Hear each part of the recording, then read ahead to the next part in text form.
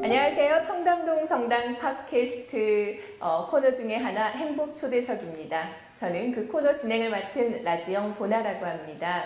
자, 이 행복 초대석은요, 우리 신자분들이 뵙고 싶어 하는 어, 우리 본당 신자분들을 모셔서 많은 교우분들에게 감동도 전해드릴 수 있고 또 그 신앙적인 동기부여를 느끼실 수 있도록 마련한 코너인데요. 어, 오늘 함께 하신 첫 번째 초대 손님 소개해 드리도록 하겠습니다. 자, 우리 본당 제2대 사목 회장님을 역임하셨고요. 또 이 주교황청 대사, 교황청의 평신도 평의회 위원을 지내시면서 재무심의처 국제감사위원을 함께 지내셨고요. 어, 또 한국천주교 평신도 사도직 협의회 회장 등을 역임하신 야, 듣기만 해도 뭐 어마어마한 경력을 가지신 분이세요. 자, 바로 한홍승 토마스 형제님이십니다. 지금 제 옆에 나와 계시는데요. 회장님 한번 만나 뵙도록 하겠습니다. 안녕하세요, 회장님. 안녕하세요. 네. 제가 본당에서는 종종 이렇게 뭐 굉장히 정정하신 모습으로 뵐 수 있어서 늘 반가웠었는데 또 이 행복 초대석의 첫 번째 초대 손님으로 또 이렇게 모시게 되어서 굉장히 영광입니다. 아 영광은 제 영광이죠. 참, 좀 부담스럽네요. 아, 네. 편하게 우리- 오늘은? 네, 우리 본당에서 이렇게 최첨단 산업을 활용해가지고 이런 코너를 만들고 이거 우리 본당 아니면 할 수 없는 일인 것 같아요. 역시 청담이 최고입니다. 네. 이 청담동 성당 우리 본당에 걸맞은 첫 번째 초대 손님이세요. 이렇게 저희가 아이고, 더 부담스럽게. 네, 이렇게 귀한 우리 토마스 형제님 모셨는데요. 어, 제가 좀 전에 어, 우리 회장님의 그동안 지내셨던 쭉 나열했는데 정말 제가 이렇게 하나하나 나열하기도 어려울 정도의 굉장한 이 이력들을 가지고 계세요. 간단하게 소개 좀 해주세요. 아, 이 굉장한 이력이라기보다 사실은 제가 엄청 큰 부담을 느끼면서 살아가는 어떻게 보면 십자가예요. 네. 하느님의 은총이죠. 이거 어떻게 보답을 하나 하면서 살아가는 이 만들어 만들어 놓으신 게 교황청에 가면은 저 여러 기구들이 있는데 그 중에 하나가 아, 평신도 문제에 대해서 교황님을 보필하는 전담 기구가 있어요. 네. 그거를 평신도 평의회라고 부릅니다. 교황청 평신도 평의회. 네. 그 전 세계적으로 그게 위원 수가 대륙별로 선발을 해서 한 30명 정도 돼요. 그 중에 제가 이제 한국 을뭐 대표하는 게 아니고 아시아 네. 대륙 기준으로 선, 선발이 돼서 아, 1984년에 네. 아, 임명을 받습니다. 네. 근데 그 위원의 임기가 5년인데 제가 그거를 30년 동안 연임해서 계속 저도 왜 저를 그렇게까지 어, 계속 그 일하도록 하셨는지 저도 몰라요. 그래서 어, 그게 전 세계적으로 그렇게 에, 뭐 오랫동안 그 이, 봉사를 한 위원은 저하고 제 친구 이태리 친구가 있는데 그 친구 저보다 한 6개월 떨어져요. 네. 이제 다들 사람들이 그냥 그 어떻게 보면 놀리느라고 어? 최장수 위원이다 뭐 그러는데 네. 그게 부담이죠. 그리고 교황청에 예산 결산을 다루는 부서가 있어요. 네. 그걸 재무심의처라고 하는데 네. 거기에는 전 세계적으로 그것도 각 대륙별로입니다. 한 다섯 명인 걸로 제가 알고 있는데 위원이 네. 그 중에 한 명으로 제가 2008년에 임명을 받았는데 대사 임명을 2010년에 받으니까 네. 그 교황청 위원이 한국 정부를 대표하는 대사 그걸 할 수가 없잖아요. 네. 그래서 사표를 냈어요. 아. 그래서 사표 내게 돼 있습니다. 네. 그래서 어, 그, 그, 이 재무심의처 위원으로 일한 거 지금 기억이 나고요. 한 가지만 더 말씀드리면, 네. 아, 이, 이 우리 교회의 특징입니다. 아, 이 뭡니까? 그 전 세계 각국의 주교 회의가 있잖아요. 그렇죠. 각국 교회의 주교 회의를 대표하는 그러한 위원들을 주교님들이 뽑아서 주교 시노드라고 하는 주교 대의원 회의라고 하는 데에 보내요. 네. 근데 그걸 한 3, 4년에 한 번씩 합니다. 그거를. 그런데 주, 이 주교님들끼리만 누구하고 하냐면 교황님하고 하는 거죠. 네. 아, 그런데 주교님들끼리만 뭐 하면은 교회 문제에 저희 그 다양한 의견을 현실감 있는 그러한 의견을 아, 들을 수가 없다고 해서 평신노들을 참관인으로 임명을 해요. 네. 그래서 뭐 많, 많은 적은 한 60명, 어쩌고 저건 한 2, 30명 이렇게 됐는데 그 주교 시노드에 제가 세 번은 다녀왔어요. 네. 그러니까 그거는 제- 제가 뭐 자랑이 아니라 저늘 부담이라고 하는 거는 그 회의를 한번 가면은 한 200, 한 5, 60명 되는 주교님들이 모이는데 네. 각 주교님들이 전부 발언을 해요. 그러면 그 이야기를 들으면 전부 아 이 세계 교회가 이런 문제를 안고 이렇게 돌아가는구나 하는 것이 그림이 얼핏 뭐 각자 자기 나름대로 그리기 나름이지만 그려집니다. 네. 그래서 그런 경험들이 크게 그 뭐라고 할까요? 제가 성장하는데도 도움이 됐고 저로서는 그거를 뭐 너 혼자 알고 있으라고 너 혼자 체험하라고 하느님 주신 기회가 아니니까 네. 주변에 특히 한국 교회 나가서 아시아 교회하고 이렇게 나누려고 어, 애써 왔죠. 예, 지금이야 뭐 그럴 기회가 이제 많지 않으니까 아, 그렇지만요. 네, 그게 네. 뭐 너무 길게 말씀드린 것 같은데 뭐 조금 저, 저 소개하라고 해서 뭐 좀 보충하라고 해서 말씀을 하시는 거라. 네. 그리고 한 가지 더 말씀드리고 싶은 거는 제가 평생을 교수로 살아왔어요. 네. 1972년부터 2008년 은퇴할 때까지 정년 할 때까지 한국외국어대학교의 경제학과 교수로 살았고 그리고 이제 2008년 은퇴 후에는 그냥 명예 교수로 직함만 있는 거예요. 네. 뭐 강의는 제가 하지 않습니다. 네. 그래서 저는 그 어디 가나 제 저를 소개할 적에는 그 얘기를 꼭 하는 것이 왜냐하면은 제가 이런 교회 활동을 하는데 우리 한국외국어대학교가 정말로 협조했어요. 네. 정말로 많이 도와줬습니다. 그래서 저는 그 늘 감사한 마음으로 지내고 있습니다. 지금도 마찬가지예요. 지금 돌아보면은 아, 학교에서 이런 걸 가지고서 뭐 까다롭게 뭐 그랬으면 내가 뭐 하긴 했겠지만 얼마나 불편했을까 네. 하는 생각을 하는데 오히려 뭘 도와줄까 하는 입장이었기 때문에 그, 그 학교가 천주교 뭐 학교냐 천만을 맞으면 그게 아니라고요. 예. 그렇죠. 그래서 외고대학이 그만큼 아니 자, 뭐, 뭐 이게 또 왜 피해를 하게 하게 되게 죄송합니다만은 열린 대학이었다 하는 네. 거를 아, 제가 말씀드리고 싶습니다. 어, 이렇게 뭐 잠깐 말씀만 들어도 정말 뭐그 하느님의 은총과 사랑 속에서 또 이 주변에서의 물심양면으로 많은 도움까지 함께 했기에 또 이런 우리 또 토마스 형제님께서 조- 이런 이력 속에서 평생을 지내실 수 있지 않았나라는 생각이 들어요.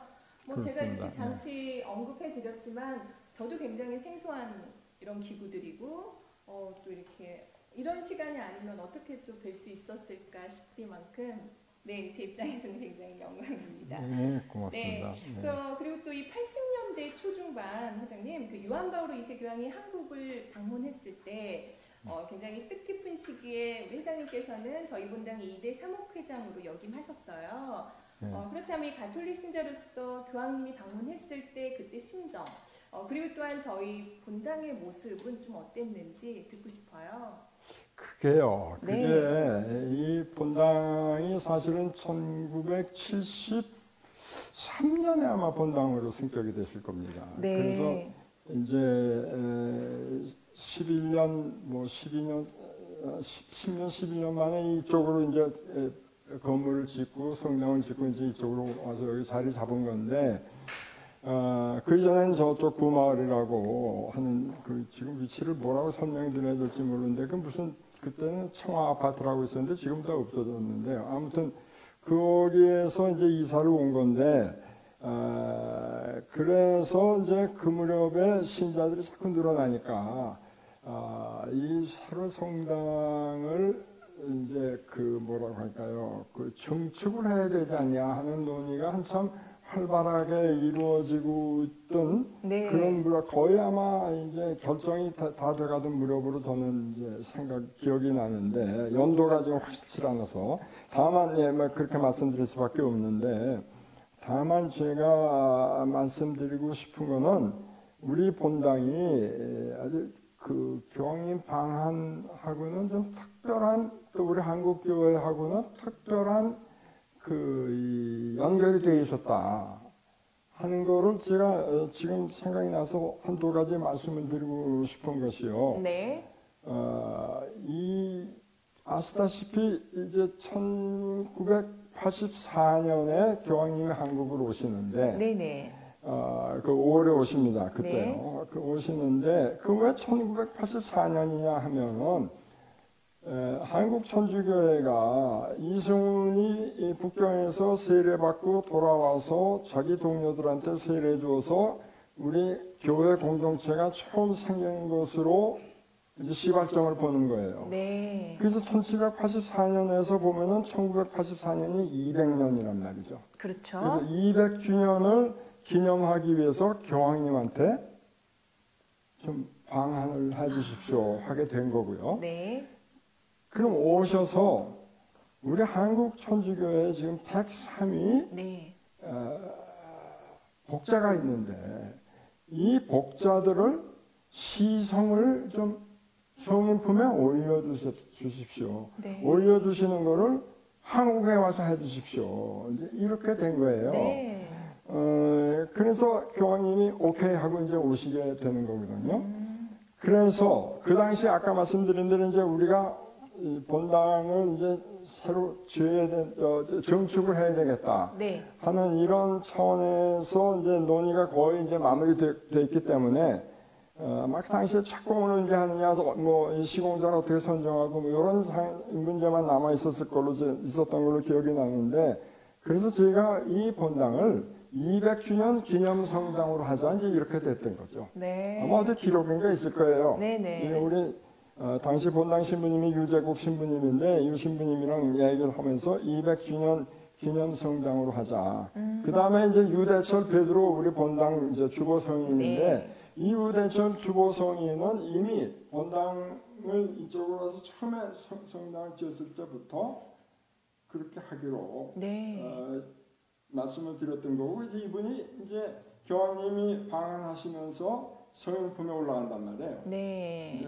네, 그렇게 이제 됐습니다. 그래서 우리가 그 이, 뭡니까 200주년 기념을 그럼 한국 교회 차원에서 어떻게 할 거냐 음. 하는 거를 이제 논의를 주교님들이 하셨고 그 당시에 그러면 세 가지로 한다. 네. 하나는 200주년 기념을 하기 위해서 우리 한국 교회에 지금까지 걸어온 발자취와 앞으로 나아갈 길을 한데 모아서 주제로 삼아가지고 어, 우리 교회의 구성원들이 성직자 수도자 평신도들이 전부 한번 논의를 합시다. 네. 이걸 사목회의라고 불렀어요. 네. 그러니까 사목회의라고 하는 게 하나 있고 그 다음에 그 이, 우리 교회의 정신을 특히 순교자들의 그 순교 정신을 이 땅에 우리가 실현을 해 나가야 되지 않겠느냐 해서 정신 운동을 펼치기로 한 거고요. 네. 또 한 가지는 아니 교황님이 오시니까 아무래도 기념 행사 네. 행사를 해야 된다서 기념 행사 이게 세 가지예요. 네. 그런데 어, 제가 말씀드리고 싶은 거는 이 사목회의를 한다고 하는 게 어, 뭐 이른바 지도자들끼리 모여가지고 성직자, 수도자, 평신도들 뭐 지도자들끼리 모여서 회의를 하는 걸로 끝나면은 이게 무슨 의미가 있느냐? 그야말로 풀뿌리 밑에서 네. 우리 신자들이 뭘 어떻게 생각하고 하는지를 담아내야 될 거 아니냐? 회의의 그 이, 의, 저 의제로 주제로 담아내야 될 거 아니냐?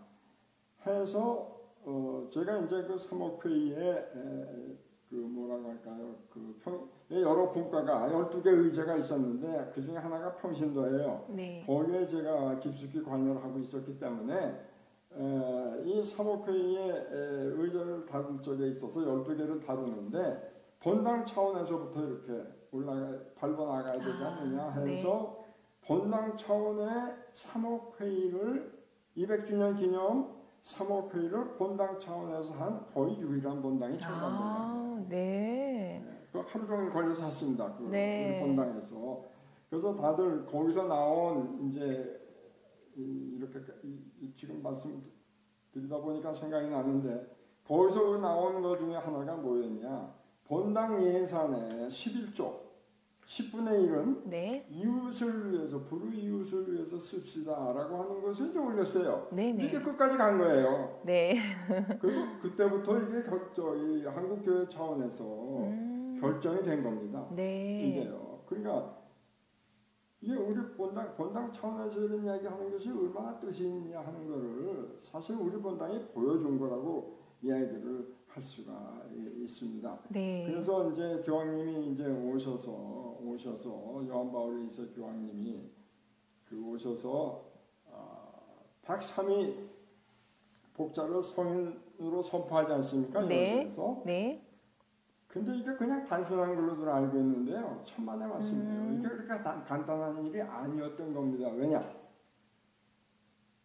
하- 이 천주교회 역사상 이제 근년에 와서 이제 천주교회가 우리 가톨릭 교회가 이제 자리를 잡아가면서 이제 2000년 걸리는 거 아니에요? 네. 근데 근대에 와서는 어, 교황청도 자리를 잡고 뭐 이렇게 더 이제 그 뭐라고 할까요? 어, 확고하게 이제 뿌리를 내리면서 전통들을 하나씩 이렇게 수립해 나가지 않았겠어요. 그렇죠. 어, 뭐 예수님 시대 무슨 시성식이 있었겠어요. 그렇잖아요. 음, 네네. 그런데 시성식은 항상 로마에서 하는 걸로 돼 거예요. 전통이. 네네. 근데 이걸 깬 겁니다. 아. 한국이 한국 교회에서 이걸 깬 거예요. 이뭐 시성식을 꼭뭐 로마에서 해야 되는 건 그냥 전통에 따른지 법은 아니라고요. 네. 그래서 그 당시에 교황님한테 어, 주교님들이 건의서를 올린 거예요. 네. 교황님. 아 근데 사실은요. 뭐 상식을 위해서 제가 이 말씀까지 드려야지 아마 세트가 이루어질 것 같은데 복자까지는 복자 품에 오르는 거는 순교한 사실만 입증되면 복자가 돼요. 네. 왜냐하면 순교한 사실 자체가 순교 사실 자체가 이게 하느님의 은총이 아니면 안 되는 거예요. 네. 그 자체를 기적으로 보는 거죠. 네네. 그런데 일단 복자가 되고 나서는 그 그분들의 전교를 통해서 기적이 입증이 돼야 성인이 돼요. 아, 네. 그러니까 103이 복자가 성인이 되는데 103명 전부 다 해서 기적을 심사하려면 어느 세월에 이걸 기대할 수 있었겠어요. 그러네요.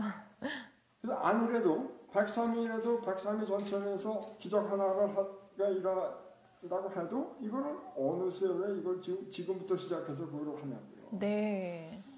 그래서 교황님한테 우리 주교님들이 건의를 하는 거예요. 교황님 이거 면제해 주세요. 기적 심사를 좀 면제해 주십시오. 어, 왜 아무런 근거도 없이 면제해 달라고 말씀드릴 수가 없잖아요. 그렇죠. 자, 교황님 보십시오. 지금 한국 교회는 다른 나라 교회하고는 전혀 달리 성장을 아주 급속도로 성장을 하고 있는 교회입니다. 이게 기적이 아니라 뭐가 기적입니까? 아, 네. 그러므로 면제해 주세요. 교황님이 말 들어보니까 아 이거 안 되네. 오케이. 그래서 면제 기적 심사 면제를 해주신 거예요 요한 바울 이세 교황님이. 네. 그래서 그 다음번에 둘째로 그런데 이 시성식은 로마에서 왜 합니까? 합니까? 서울 가서 한국에서 해주세요. 왜? 로마에서 하면 가난한 사람들은 갈 수가 없습니다. 네. 가난한 사람들을 온그 박사님들이 다 함께 참여하려면 로마에서 해주시는 서울서 해주시는 네. 게 제일 좋은 방법입니다. 그것도 오케이. 네. 그렇게 된 거예요. 그래서 저는 요한 바울 이세 교황님이 아니었으면은 한국 교회 성장이 이렇게까지 됐을까 하는 항상 그 저 생각을 하면서 요한 바울 이세 교황님께 늘 어, 이 고마운 마음을 항상 가지고 있는데 바로 내일이 5월 18일이요. 네. 내일이 요한 바울 2세 탄신 100주년이에요. 아, 또 그렇게 되네요. 내일입니다. 네.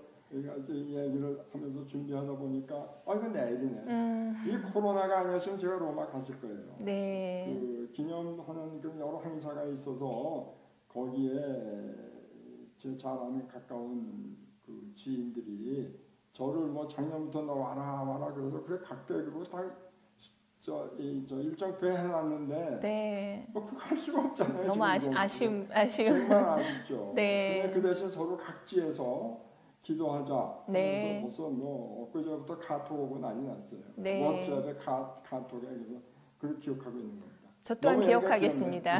네, 저 또한 우리- 기억하고 우리 기도하겠습니다. 우리 전부 좀 기억해 주시면 네.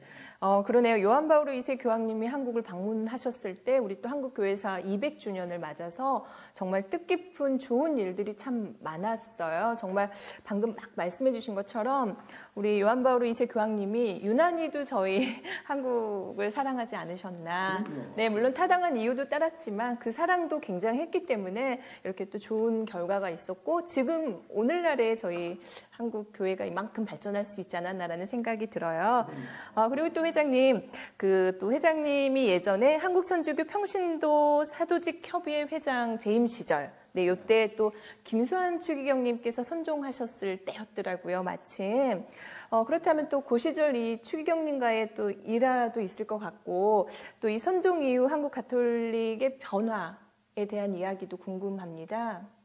아, 네, 김수환 추경님하고는요, 뭐 일화가 하나둘이 아니에요. 네, 사실은요. 그렇죠. 그, 그, 그, 이 말씀을 드리면 다들 어떻게 그렇게 됐나 하고 또 어떤 면에서는 참, 참, 참 부럽다 하는 근데 저는 그냥 일상생활이었기 때문에 아, 그 자체가 더 부러운데요. 근데 뭐 아니요 무슨 말씀이냐면은 제가 김수환 추경님을 처음 만나던 얘기를 만났을 적을 지금 회고하지 않을 수가 없는 거예요. 네, 아, 한국 천주교의 성인이 103이라고 이제 말씀드렸잖아요. 그중에 79위는 네, 1925년에 10억이 돼요. 네, 나머지 24분은 1968년에 로마에서 10억씩을 했어요. 네. 그때 제가 유학 중이었습니다. 로마에는. 그런데 그 한국서 처음으로 이제 순례단이 오는 거예요. 10억씩에 참석하기 위해서. 근데 김수환 추경이 그때 대주교죠. 서울교구장을 오신 지 얼마 안 됐을 때예요. 네네. 그래서 이 대표단을 이제 순례단을 데리고 오는데 이게 어느 정도였냐 하면은 그 비행기 차터 전세기를 해서 이제 오는데 달러를 지불해야 되잖아요. 그렇죠. 그 달러를 통제가 심해서 음, 얼마나 우리가 외환을 아꼈는지 네. 박정희 대통령이 직접 결제했다는 거예요. 그 사용에 대해서. 네. 그래서 오셨어요. 네. 그래서 그때 처음 제가 추경님을 뵀습니다. 네. 그리고 그 다음 해 추경님이 또 어, 그때 구정 때 같은데 같은 데가 아니라 구정 때예요. 그 즈음에 오셨어요 로마를 협의할 일이 있어서 안직 대주교에 네. 오셨다고요. 오셨는데 아 뭡니까 그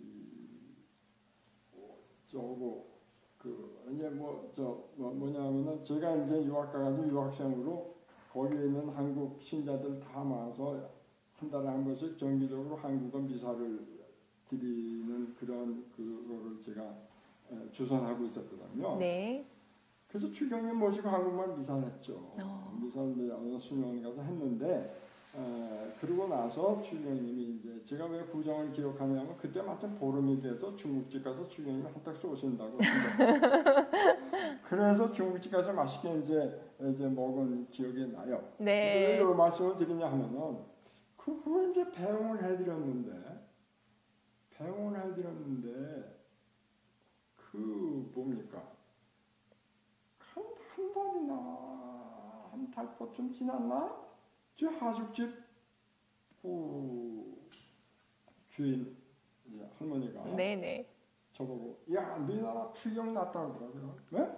무슨 추경이 나요? 아 추경 났다고. 어 신문을 부랴부랴 사서 보니까 아 그래서 김수환 추경이 추경이 된 거야. 아 얼마나 기뻐요. 어 그러니까 제가 야 이건 뭐 어떻게 되나 이거 음. 뭘, 뭘 해야 되지 이제 이러는데 아, 그래서 이제 추경님이 그 소인씨 때문에 이제 오시고 뭐 해서 이제 배웅해 드리고 뭐 이랬거든요. 근데 요건 이제 이제 일화 중에 하나예요. 네. 아, 그런데 아, 추경이 오시면 볼타 그때는 한국에 유학 어, 시민 중에 로마 유학하는 시민들도 몇 명 안 됐고 또 그분들이 뭐, 뭐 경제적으로 여유롭, 여유롭지 못하니까 뭐 자동차도 없는 건 당연하고 그렇죠. 뭐 그런 거 아니에요. 맨날 네. 이- 있다고 그래야 오토바이 타고 다니는 거니까 거기다 뭐 주경이 모실 수는 없잖아요. 네. 오토바이 뒤에 타시라고 할 수는 없잖아요. 그런 그런데 듣기로는 아, 주경님이 되면은 교황청에서 바티칸에서 차량을 갖다가 말이지 그 음. 이- 내드린다 이런 네. 거예요. 어휴, 대단해. 역시 그러면 추경님을 이렇게 모시는 거지 이제 이렇게 생각하고 있었는데 나중에 알고 보니까 이게 공짜가 아닌 거야. 아, 비용 지불이 또 있어야 되는 비용을 거예요? 갖다가 청구하는 거예요. 네. 추경님한테 몇, 몇월 며칠 몇 시부터 몇 시까지 얼마. 몇월 며칠 네. 몇 시부터 몇 시까지 얼마. 이거 제가 어떻게 알겠어요? 이게 청구서가 저한테 온 거예요. 네. 아 청구서가 이게 뭐왜 지금도 안 풀리는 거야? 이거 왜 나한테 왔지? 네. 누가 냈어? 나도 돈도 없는데 추경이 주셨나? 내가 냈나? 뭐 기억이 그건 없어요. 근데 여전히 보면 확실하게 제 이름하고 주소가 있어요. 네. 왔어요. 근데 무슨 말씀이냐면 주경님이 그걸 아신 다음부터는 안 타시는 거예요. 아, 차를 안 타세요. 네. 그러고는 뭐, 뭐 하면은 버스 타거나 아니면 무슨 택시나 그냥 아, 탈까 뭐 이런 식으로 지냈어요. 네. 그래서 그때부터 이제 주경님은 뭐 제가 아, 가까이에서 이렇게 그 뵐 수 있는 기회가 맘만 먹으면 언제든지 전화 걸고 가서 네. 만나 뵙고 드리고 싶은 말씀을 이제 드릴 수가 있었고 그런데 에, 지금 2009년에 선종하실 적에를 말씀하시는데 그때 그야말로 신자든 아니든 그 추운 날씨에 말이죠. 그렇죠. 얼마나 삥 둘러쌌으니까 명동을. 네. 그, 그래가지고 자기 차를 기다리는 그저 마지막 작별 인사 한번 하려면 그한 시간 반, 뭐 두 시간 추운데 그걸 이 주변에서는 또 그분들 생각해서 그냥 막돈 찾아가 내다, 내다 드리고 커피숍 네. 뭐 이런 데서 그랬다는 거 아니에요. 근데 이제 제가 그 지금 막 임종하실 것 같다. 이래서 부랴부랴 성모병원으로 이제 택시 타고 갔어요. 네. 부랴부랴. 갔더니 이제 그 주치의가 이렇게 나와서 임종 지금 막 임종하셨다 이러더라고요. 네. 정진석 당시 대주교님, 교부장님 또 몇분뭐 보좌주교님 이렇게 계셨나 지금 하여튼 정 대주교님, 정주교님 계셨으면 제가 분명히 기억을 하고요. 나머지는 뭐 저도 정신이 네, 없으니까 그런데 조금 있으니까 조금 있으니까 그 또 또 다른 의사가 들어가더라고요. 네. 근데 조금 있다 나와요. 그게 음. 뭐냐 안구 적출을 하러 들어가요. 네. 안구 적출. 그 헌한 안구를 기증하셨잖아요. 네. 그러고 나서 이제 들어가셔도 된다고 해서 가서 이제 인사 마지막 인사 때 병실에 그 돌아가신 그 자리에서 네, 네. 드렸죠. 왜 이 말씀을 드리냐면은 그 이후로 우리나라에서 일반 사회에서 소위 장기 기증에 네. 대한 이게 전환점이었네요. 얼마나 더 활발하게 네. 물론 장기 기증에 대해서는 우리가 이제 그 성체 대회 1989년에 세계 성체 대회를 서울에서 하거든요. 그때 우리가 헌혈 뭐 안- 장기 기증 뭐 등등 이런 운동을 펼쳤는데 그때부터 이제 이 시작이 됐죠 우리 교회 차원에서는. 근데 추경님이 거기다 완전히 불을 불을 지르신 거예요. 네. 그래서 나눔 우리 사회에게 나눔 또 화해 뭐 이런 것이 결국은 이제 지금 와서는 전 세계 차원으로까지 그 어, 에, 펼쳐지도록 그 주교님께서 저는 그렇게 생각해요. 참 위대한 인물은 살아계실 적에도 그- 계실 적이지만 돌아가신 다음에 더 영향을 해서 그 당신이 살아계실 적에 하시고자 하던 거를 이루어내신다. 네. 그런 생각을 늘 합니다.